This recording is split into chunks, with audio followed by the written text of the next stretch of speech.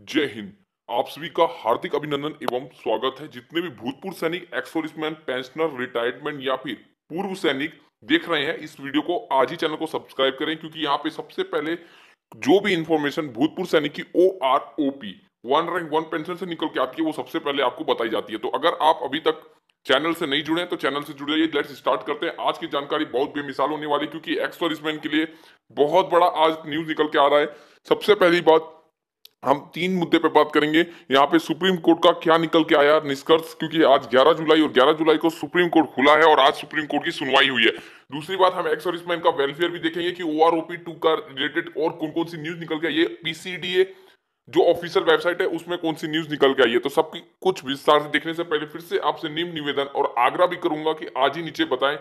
एक सब्सक्राइब का बटन साथ में छोटी सी घंटी है, उसको दबा दे ताकि आपको हर एक अपडेट हर एक छोटी छोटी अपडेट आप तक आपके फ़ोन में फ्री में मिलती रहे। चलिए स्टार्ट करते हैं। तो जैसा कि आप जानते हैं कि सुप्रीम कोर्ट के पास याचिका दर्ज है। हमारी जो केंद्र सरकार है, केंद्र सरकार ने तीन और महीने की मांग की थी। वो अभी आवश्यकता में पेमेंट करने से 2000 करोड़ का जो डिसबर्समेंट था ओआरओपी का, उसमें अभी हमारी सरकार चूक रही है और सरकार ने निर्णय लिया है कि और तीन महीने वक्त लेना चाहती है या वक्त लगेगा तो उसके संदर्भ में बात करेंगे। और मैं एक चीज़ बता दूँ कि आपने कुछ दिन पहले एक न्यूज़ देखी होगी, जिस न्यूज़ में आपको पीडीएफ देखने को मिला होगा, जहाँ पे one rank, one pension actually में किसको मिलेगा और होता क्या है, इस पे भी बात करेंगे। तो सबसे पहले मैं बता देता हूँ कि वन रैंक, वन पेंशन काफ़ी पूर्व सैनिक जो है, कमेंट करते हैं कि, सर, हमें वन रैंक, वन पेंशन क्या होता है, इसका डेफिनेशन क्या है, हमें नहीं पता। तो आपको जानना बहुत ज़रूरी है, क्योंकि अगर आप पैसे लेने के हकदार हो तो ये भी जानने के हकदार होना चाहिए कि O R O P actually किसको मिलना चाहिए और क्यों मिलना चाहिए।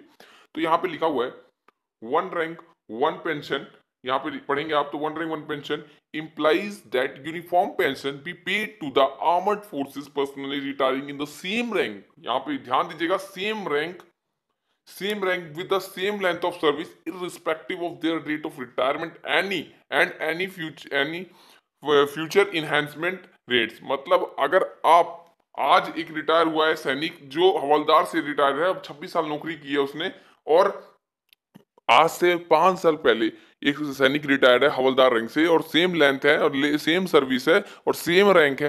तो आपका जो डिफरेंस होगा, वो सेम ही मतलब आपका जो डिफरेंस होगा, वो नहीं होना चाहिए, वो आपका जो पेमेंट है, वो सेम होना चाहिए।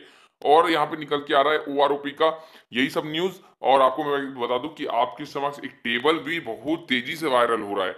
इसमें आपका सिपाही only naik naik only havildar havildar only naik subedar subedar subedar subedar major मतलब सबका दिया हुआ है। लेकिन ये टेबल हालाँकि अभी पीसीडी की वेबसाइट में अपलोड नहीं हुई है।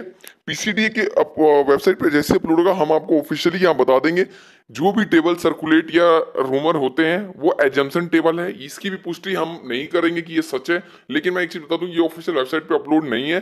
तो ये मान लीजिए ये एजम्पन टेबल है, अनुमानित टेबल है। इससे आप अनुमान लगा सकते हैं, लगभग आपका कितना एरियर बनेगा, किसको कितना फ़ायदा होने वाला है, किसकी कितनी सर्विस आप देख सकते हैं। अगर आपको और भी ऐसी न्यूज़ आगे भी चाहिए कि ओआरओपी से पेंशन से पोर्टल से स्पर्श से, या फिर पेंशन डिपार्टमेंट से पीसीडी की तरफ़ से एक्सर्विस वेलफेयर प्रिविलेज तो हमारे साथ आप जुड़ सकते हैं। जुड़ना बहुत आसान है और फ्री है। लाल कलर का बटन है सिंपल सा, उसको दबाना है, और एक छोटी सी घंटी है, उसको दबा लीजिए, बस। आपको हमेशा अपडेट मिलते रहेगा O R O P one rank one pension जय हिंद, जय भारत, वंदे भारत.